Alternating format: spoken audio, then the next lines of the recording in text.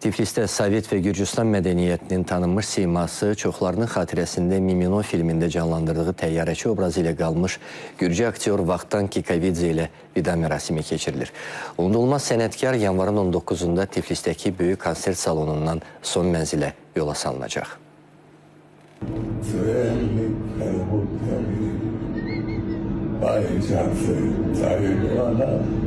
Bu, görkəmli müğənni və aktyor Vaxtan Kikabidzenin ölümündən əvvəl ifa etdiyi sonuncu mahnıdır. Xəstəlik cismini taqətdən salsa da, Bubanın ruhuna toxuna bilməyib. Əfsanəvi müğənni özünə məxsus yumor hissi ilə son mahnısında belə güldürməyi bacarıb. Vaxtan Kikabidze özünə məxsus yaradıcılığı ilə Gürcüstandan kənarda da milyonların sevimlisinə çevrilməyi bacarmışdı. Onunla vidalaşmağa gələnlər arasında Gürcülərlə yanaşı digər xalqların nümayəndələrinin olması da bundan xəbər verir.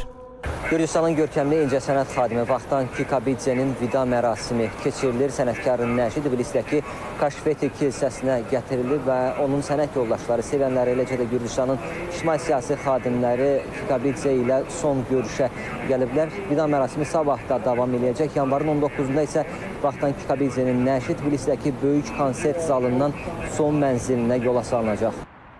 Bütöv bir dövrün rəmzinə çevrilmiş sənətkar öz mənəvi keyfiyyətləri ilə həmkarlarının, eləcə də tamaşaçılarının və dinləyicilərinin qəlblərində dərin izlər qoyub. O bizə insanın necə bir həyat yaşamalı olduğunu göstərdi. Onun həyatı hər birimiz üçün bir nümunə oldu. Biz onun kimi olmasaq da, azı buna cəhd etməliyik. Bu Gürcüstan üçün böyük itkidir. Onun ölkəmiz üçün xəyalını qurduğu arzuların həyata keçməsini diləyirəm.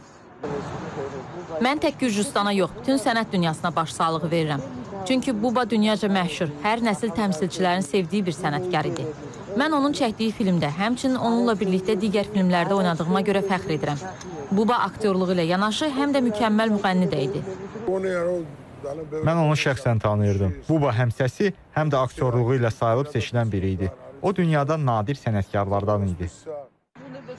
Buba sənətində peşəkar, xalqına sevimlisi idi. Onun sadəcə səhnədə görünməsi belə insanların üzündə təbəssümə səbəb olurdu. Elə buna görə də Buba bir çox xüsusiyyətlərinə və bacarıqlarına görə dəfələrlə mükafatlara layiq görülüb. Onun vəfatı hər kəs üçün böyük itki oldu. Vaxtdan Kikabidze həm də Azərbaycanın və Azərbaycanlıların dostuydu. Vaxtı ilə Tbilisidə yaşamasaydım Bakıda yaşayardım deyən sənətkar Azərbaycanda özünü hər zaman evindəki kimi hiss etdiyini bildirirdi. O, ölkələrimiz arasında mədəni əlaqələrin inkişafında da əvəzsiz xidmətlər göstərmişdi. 84 yaşında beyin xərçəngindən vəfat edən əfsanəvi müğənni yanvarın 19-da Tbilisidə dəfn ediləcək. Səid Babazadə, Rəhim Talıbov, İctimai Televiziyanın Gürcüstan bürosu.